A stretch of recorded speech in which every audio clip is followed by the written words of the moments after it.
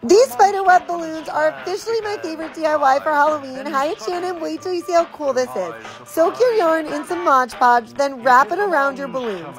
Make sure to soak it with the Mod Podge and let them dry overnight. The next day, pop the balloon. Wait till you see how cool this is It leaves these really cool spider webs I decorated with some spider rings. Make sure you're following me for more easy, fun ideas.